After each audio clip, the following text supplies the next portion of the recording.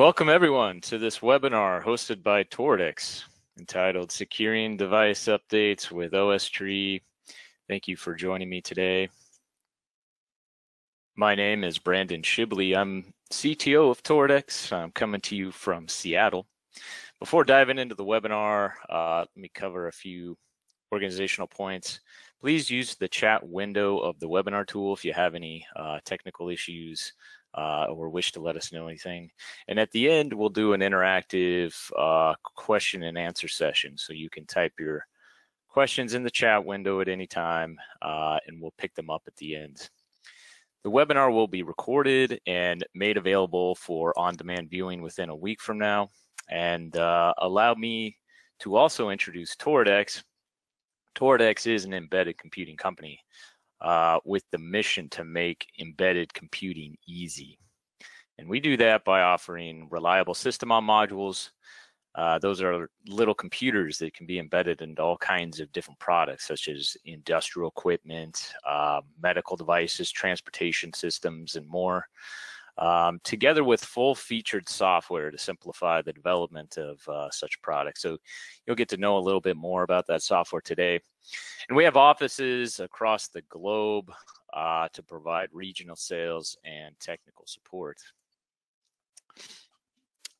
And I'd also like to introduce you to Torizon, which is a new, free, easy to use industrial Linux software platform from Toradex. It's comprised of extensively used open source software such as Linux, the Yocto project, Docker, Debian, and more. Uh, it can be used out of the box and tailored to a multitude of different use cases without the need to build the OS completely from source code. Um, it's designed to be used with containers, uh, allowing uh, you to uh, use a wide variety of software to be deployed uh, on top of Torizon Core. Torizon comes with uh, an automotive grade update client that utilizes OS tree, and of course that's the topic of this webinar.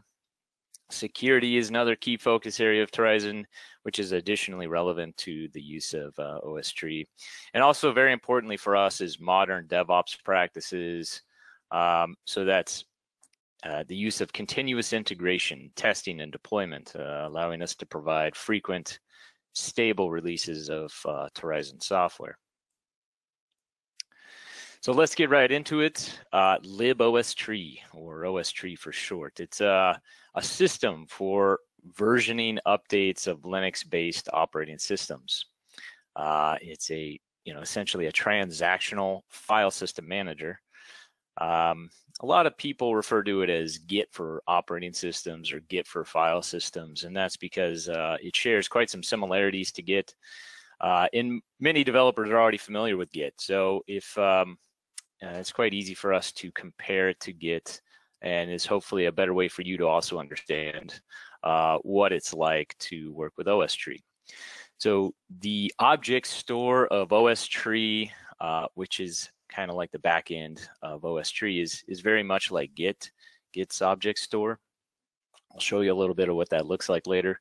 Uh, the workflow is also relatable to Git, right? Um, so for example, committing changes to an operating system or to the file system is uh, quite similar to what you might um, be used to in terms of committing changes to a source repository.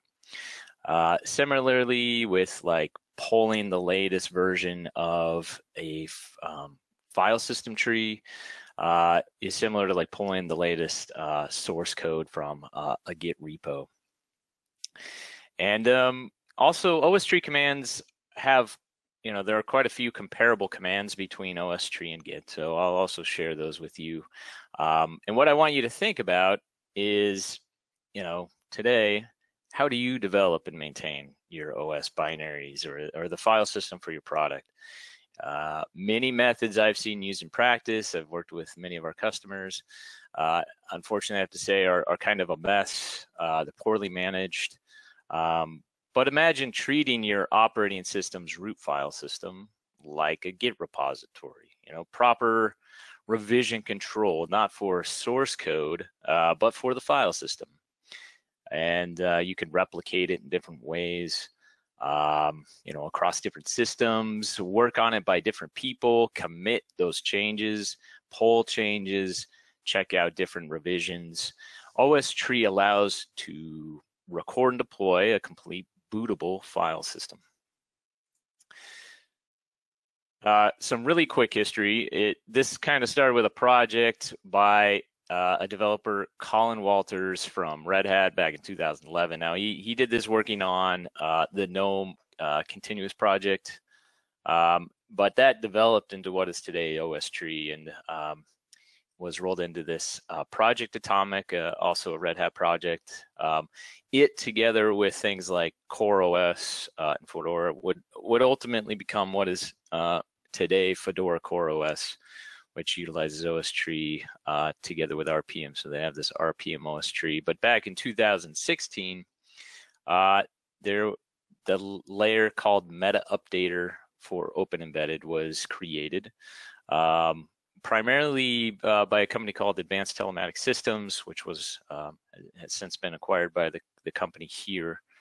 Um, and this is the the most popular way to integrate OS tree support together with uh, its most popular um, update technology called Aktualizr into an open embedded Yocto project um, uh, build.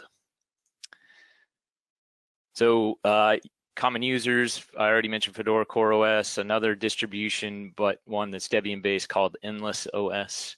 Um, there's uh, Flatpak is is a way of sandboxing Linux applications, um, and this uses OS Tree. And then I also mentioned Meta Updater. So there are a variety of different users of Meta Updater. Uh, Toradex is one with uh, Torizon Core, which is our uh, operating system uh, for the device uh, under the Torizon platform. Automotive grade Linux is another. Um, Linux micro platform, Full Metal Update, Edgehog, and there are even others. So um, quite a few uh, users at this point, uh, and it's becoming uh, increasingly popular. In Torizon Core, uh, this is how we use it. So uh, this is just a little bit of a layout of a system on Torizon Core. I just wanted to show you uh, an example of OS Tree in use. Uh, the bootloader is managed separately outside of OS Tree. It's very traditional manner. Uh, our products have uh, the vast majority of them have a dual uh, bootloader partition uh, where we can have redundant bootloaders. So that's where our bootloaders are stored. But then the root file system of the operating system uh, is managed with OS Tree. And there you'll find the Linux kernel. You'll find things like systemd, network manager. Um, there's also the we have a container runtime. So Torizon Core, you run containers on the device. Uh, that runtime is Docker, also managed in OS Tree. And then we have uh, the OTA services like Aktualizr, which are working with OS Tree to uh, transfer and perform updates. On top of that, we have those containers those are, in the case of Torizon Core, not managed by OS Tree. Um, and there are some reasons why. There, there are actually implementations uh, out there of uh, containers that are managed by OS Tree.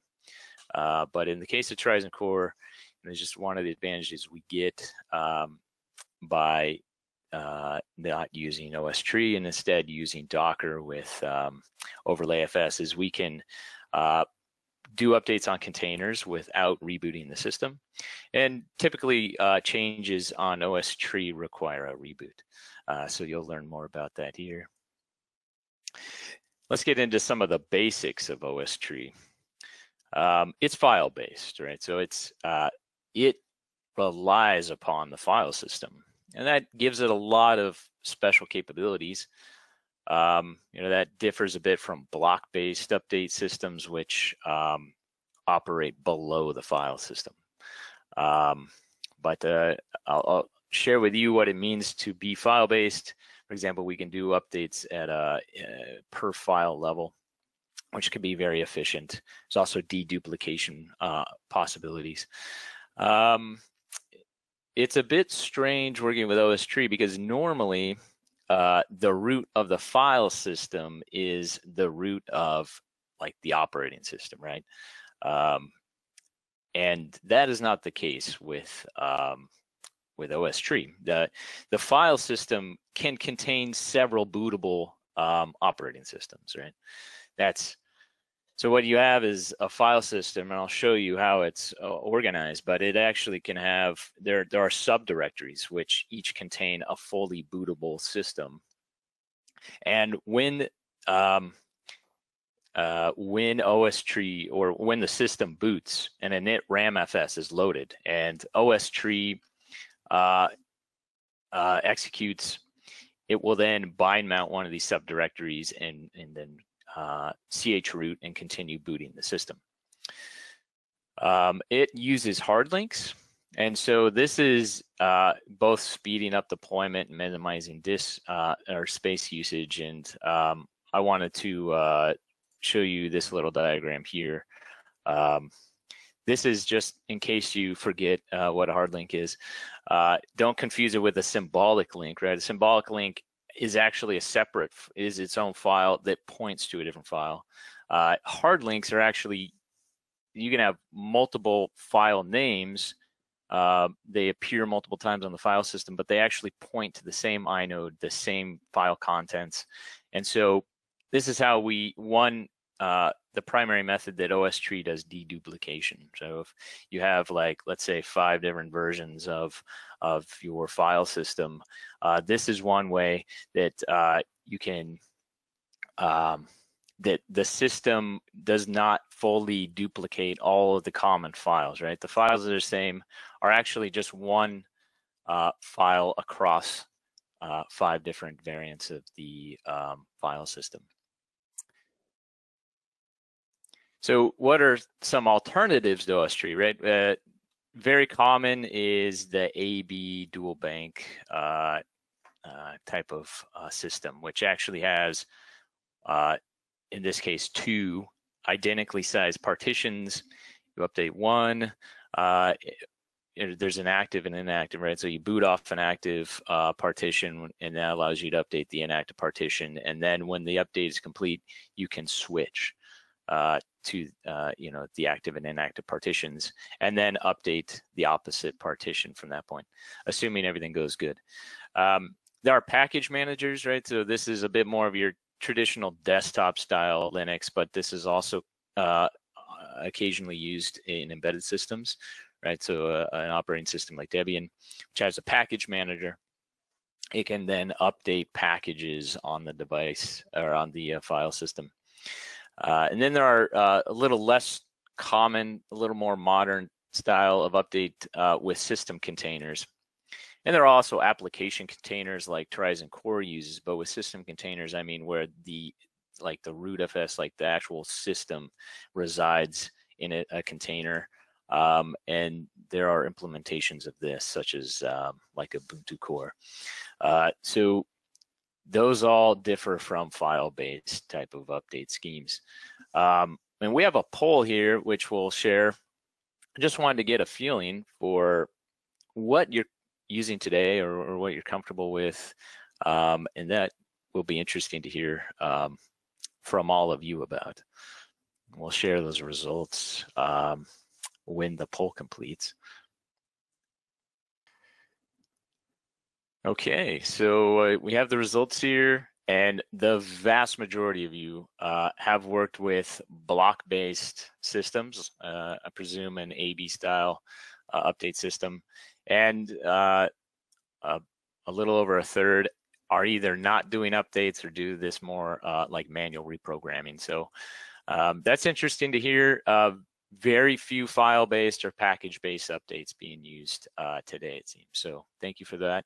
Very interesting results. Um, I wanted to give you a comparison to AB. Uh, as we saw, that's kind of the most popular out there. So the top here, and, and I also want to give credit to here.com. I these were nice graphics, so I uh, I am using them directly in the presentation. Uh, there is at the very top here. This is you know the classic example of an AB uh, configuration.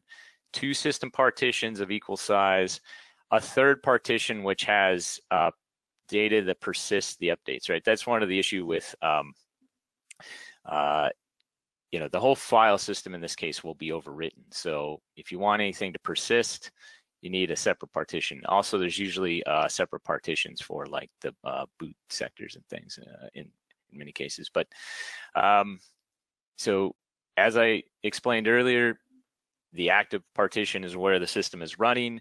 The inactive partition gets updated, and then uh, you switch these uh, partitions on reboot and assuming things boot fine, uh, you pass all your checks, then you can uh, update the, the new inactive uh, partition so they're brought up to the same uh, version.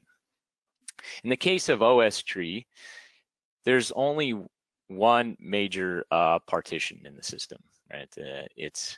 Uh, because it's all file based, and you have you know this teal box here is is your file system v1.0 and there are some os tree metadata and stuff around that and this is a little oversimplified but um, when you download an update you only download the new file changes uh, new files that differ from v1.0 right?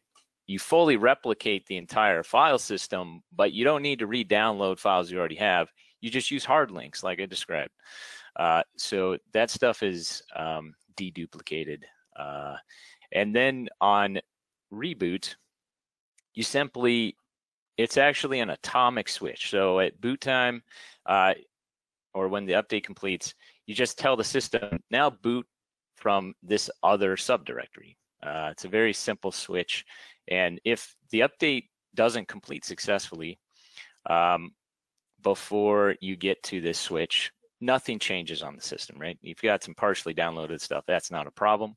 The the main file system is still intact. In fact, it was mounted read only, so um, you know it's it's very safe. And then if the system does complete, it boots, and there's a problem with booting. It can roll back right back to the uh, old file system version. So the advantages of this approach are space savings with deduplication. Uh, you minimize the update size. Like I said, you only need to update files that are changed, not the entire partition. Um, and you can leverage the entirety of the flash capacity. You know, the challenge with AB is that you have to have essentially in, in the vast majority of implementations, two equally sized system partitions. Uh, so that uh, in itself means you only are using uh, at the very best half of your um, storage capacity, and in many cases, um, it's actually less. Um, you know, the integrity can be verified. So uh, on the file system, we can run integrity checks on individual files or the entirety of the file system. Um, the update is atomic because, like I mentioned, you um, you only have a single switch that happens upon uh, completion of the update. Uh, and if that doesn't happen, you just continue uh, uh, using the old version of the operating system. And it's immutable, meaning that it by design, you're not changing the the active file system, right? That what you're telling OS tree is I want this specific configuration on my file system, right? That's different from say a package uh, based update where you have a running system and that's the basis for any changes that are going to occur. And you just continue to append changes and, and append changes to that uh, system. And so over time it, it morphs and changes and um, uh, that can be challenging to manage um, across a, a, big fleet of devices, right? The, this is happening across all those devices semi-independently, and um, over time you may see configuration drift. Um, immutability means we're not making changes uh, in any kind of incremental fashion to that system directly. We're telling that system exactly what version of a of file system that it should have, and um, and we can do that across a large fleet of devices, right? So we can tell thousands of devices to have the exact same uh, state of the file system. Uh, and for revision control, this is very nice, right? Uh, imagine having a, a, traditional file system and you're making changes to it. Um, they're usually not revisioned uh, well, right? So uh, can I roll back some changes? Can I, um, how do I know what exactly has changed? Uh, th these can be difficult operations. With OS Tree, you it's designed to be able to do this. Um, real quickly, I want to share with you some more similarities to Git. Uh, in OS tree, we actually use um, SHA-256 versus SHA-1 in Git, which is much more uh, collision resilient or resistant, I should probably say. Um, let's see, we'll have to go quickly here. Uh, common commands that you see, you'll see a, quite a few similarities. You also see some things that aren't implemented, right? Like um, uh, like uh, init is pretty similar, although the the meaning of bare is actually different between these two.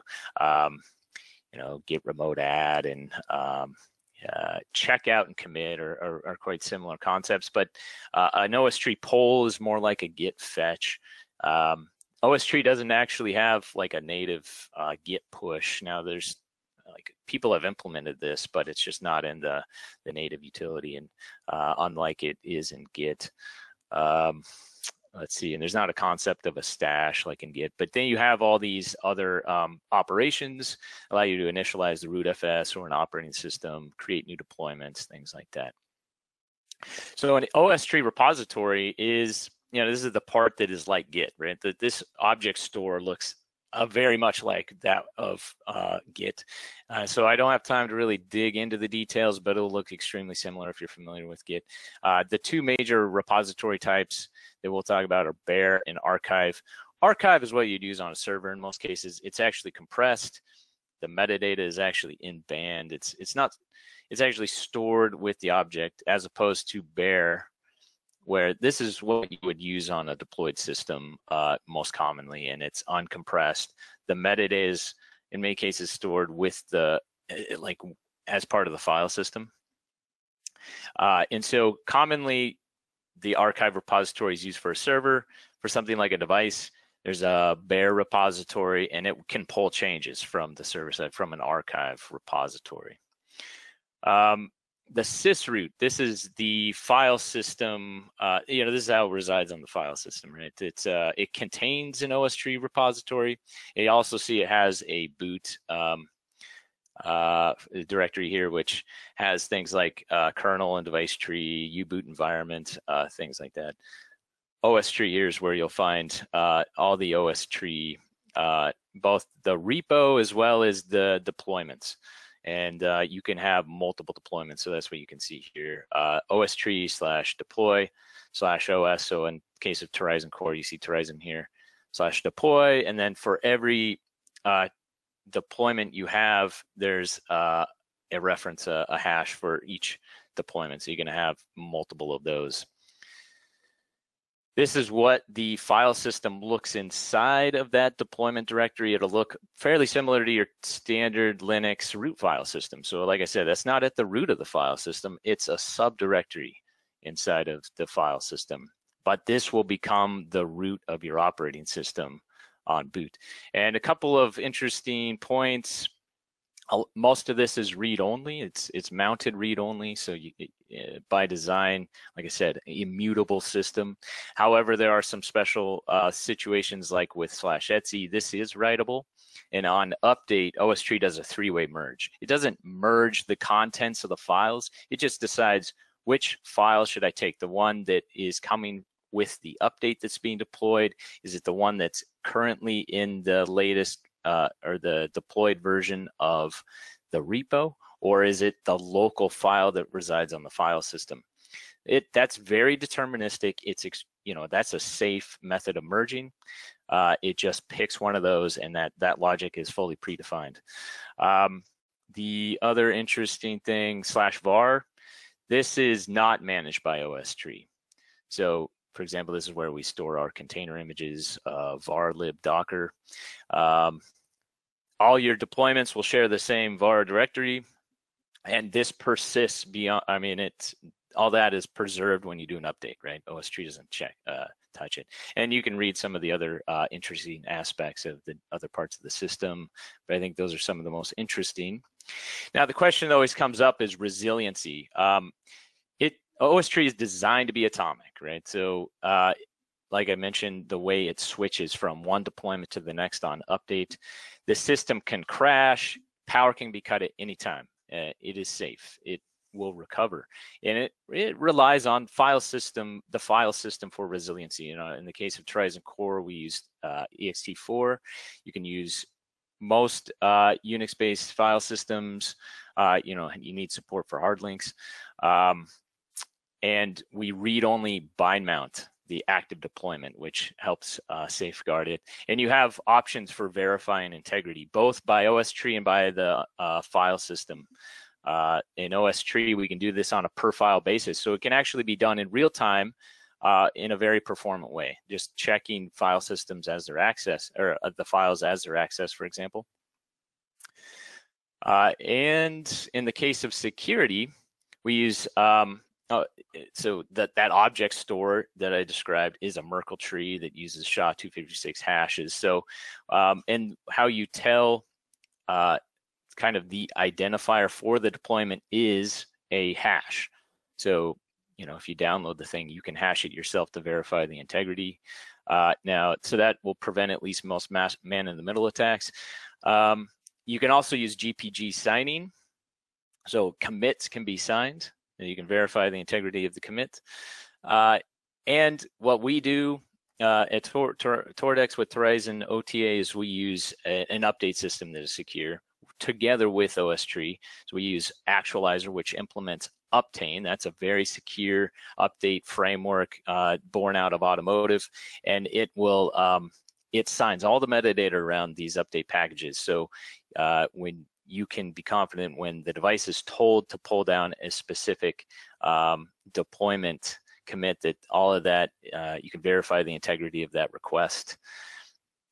And let's see, I'm running uh, behind on time, so my apologies. Um, wanted to share with you some references. Uh, OS Tree has some great documentation. Check this out right here. Meta Updater, I find this on GitHub uh, at uh, developer.toradex.com, our uh, developer documentation, we have information about OS tree. And then I also um, would uh, suggest you can check out Torizon OTA. You can try this out for yourself. Currently on Toradex Labs. However, we're graduating that from uh, labs any day now. We're, we're going to uh, into production with Torizon OTA as part of our Torizon platform. So uh, I can definitely um, recommend. Try that out for yourself and see it in action. And that's it for me. Actually, we have one more poll I want to run. So um, we'll start QA, but real quick, I want to know uh, based on the needs you have today um, and maybe some information you've learned about, uh, what type of update system would you like to use um, going forward? Uh, so share your responses uh, and um, we'll have a look here. All right, so we have some results. I mean, this is uh, quite interesting. I, uh, I guess uh, it's probably the reason you all joined the webinar, but uh, OS tree-based update systems uh, are, are um, coming in very high, 71%. Still some users of AB style update systems, that's perfectly fine. Um, this is tried and true technology. Um, not many package manager and system containers interesting enough has some responses uh, that's also useful uh, a system and i can also say that uh, there are also cases where some of these get used in combination so those are also interesting cases like os tree on an ab um, uh, configuration or uh, system containers mixed with uh, os tree package managers with I mean, really, all these different combinations are possible. Um, and there are real systems out there that do some of that. So anyway, uh, thank you for those results. I now am open for questions. All right, first question. Uh, what does a development workflow look like with OSTree? So now you could, like I mentioned, the the system itself is immutable. Now you could still make changes there, right? There's even a um, a command in OSTree to make the uh, it mutable. You could uh, like um, and make changes right on the file system. That's not really recommended. It's usable. That's doable in certain cases. Um, and what is the more um, recommended uh, development flow is to make changes on more of a development uh, system commit those changes to that archive repo, like I talked about, um, and then pull those down to the device. So that would be your um, standard workflow. Uh, but OS tree allows for a lot of different possibilities in terms of workflow. So that is not the only way that uh, you would need uh, be required to work with a system uh, using OS tree. But that's a good pattern, particularly when you think about what it means to have thousands of devices in the field and you're developing updates for them, right? Um, you want to do that in a way that's again immutable, uh, in a way that's revision controllable, uh, and so that's a, a very good method. Um, can we have the slides? Yes, those will be made available. Let's see, next question. Why is immutability important? Uh, isn't it easier to make changes to a running system? Well, of course, it's nice to be able to just make changes directly on a running system, but if you want to, um, oh, let's just use real uh, real world examples where you have hundreds, thousands of devices deployed all over the place. Uh, that's kind of the case for uh, many of Toradex customers. Um, making changes directly onto a running system is um, is one in a production situation is is can be a little bit dangerous. Um, in a if that's not well controlled. Um, also, you have those systems then drifting potentially uh, from each other in terms of their configuration, uh, the uh, content of their file system, which makes managing and uh, maintaining those uh, an additional burden. Uh, so immutability is important because we can keep all of those devices in sync with the exact same revision of software. And um, that's why immutability is important. We want to any changes we do make, we want to do in a proper environment that's revision controlled, and then we can deploy those out uniformly across the fleet. Um, can I add OSTree to an existing Yocto project image? Uh, yes, you can. The, I shared that meta updater uh, layer with you that would be uh, a layer you could use with your existing project. Of course, there's going to be some work required. Now, the other possibility is to take TorizonCore from Toradex, particularly if you're already working with a Toradex product. Um, you could make changes to TorizonCore. It's all open source. Um, in fact, we we promote that. Um, and so if like you didn't want to use containers, right, you can remove Docker from the system, and you've got a very minimal um, OS that has OSTree and OTA capability with Aktualizr. What about support of X509 instead of uh, PGP? Um, let's see.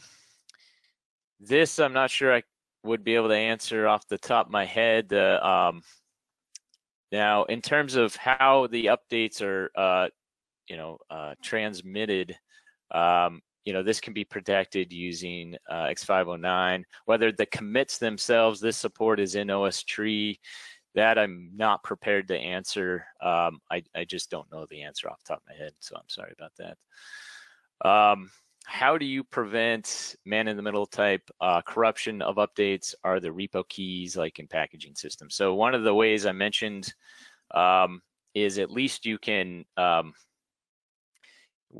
when the system is going to go and request uh, some deployment, it does that by using the hash of the deployment. Uh, so then when it downloads the deployment, it can then compute the hash on the device side to verify the integrity. Now, so that that avoids some man-in-the-middle attacks.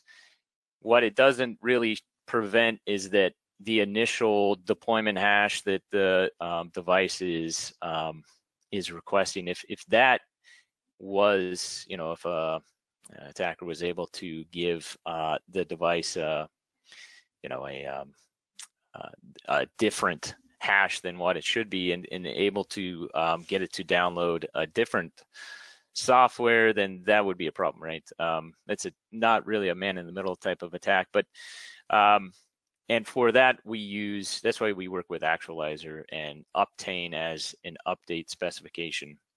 So what that does is make sure that um, first of all there is secure connectivity to a server. That server is um, able to be um, you know uh, authenticated uh, bidirectionally. Um, you know you have to have secure initial provisioning of the server um, uh, to the server with the device. Uh, but from that point, you have uh, credentials and uh, certificates um, to safeguard that communication. And then uh, we can exchange information securely. For example, telling the device which uh, revision of a deployment to uh, download. Um, let me see. And the follow-up question for that is, if repo keys are used, is there a key distribution update infrastructure? So that's what I was just describing there. Um, the actual signing keys uh, also can be distributed using uh, Actualizr, uh, as well as the uh, updates themselves. Uh, but of course, there's always some initial root uh, provisioning of these um, credentials. And is OSTree can be linked with some hardware security element for uh, signature verification. Uh, yes, this is possible. Uh, we have done some testing of this, um, well, at least with Secure Boot, um, using the like a crypto accelerator specifically for doing the signature verification. I believe uh, Actualizr also has support for this. Um, I can't say that we've tested it ourselves thus far, but uh, it's certainly doable. Um, and so far, we we using the the CPU, we have not experienced uh, real concerns with the performance of this uh, operation. Um, and what is or where is implementation of OSTree inside of U-boot? Uh, what about if uh, we want to change? Uh, sorry, the bootloader version. Uh, so OSTree itself resides on the file system. Uh, however, from uh, the bootloader, you load an init FS off of that file system, as well as the OSTree repo.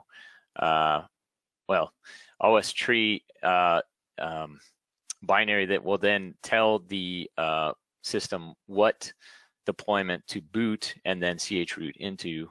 And um, if you want to change the bootloader, currently uh, that's something that OSTree does not manage. It it has a boot uh, partition. This has things like the kernel and that init ramfs I was talking about, the device tree, um, also a bootloader environment, but not the bootloader itself. Um, however, um, this is something that we have in our roadmap with Torizon OTA is to provide uh, a method of installing a bootloader via um, Actualizr. So it's not managed by OSTree. Uh, however, um, if you're working with Meta Updater and Aktualizr, there is something what's uh, that's called a secondary update. So the primary update would be the OSTree uh, uh, file system. Uh, the secondaries could be just about anything else that you can create the logic to update. Um, and a bootloader could be uh, such a secondary. Could also be other processors uh, uh, in a product. And this comes out of automotive. So in those cases, you know, there's a gateway, that's kind of your primary, and then all kinds of other processors, microcontrollers and other uh, processors on the system, which are uh, can be treated as secondaries. I hope that answered your questions. We are out of time. I appreciate you coming to this lightning webinar, but let me know if you would like uh, a deeper dive on OSTree. This was a very fast webinar, so could not go into uh, a lot of detail. Uh, however, if, if uh, you are interested, please let us know, and perhaps in the future we can do uh, a longer, deeper dive on OSTree. Thank you for joining us today. Um, if you have any questions, feel free to shoot those out to us via email or other channels and we'll see you at the next webinar. Bye-bye.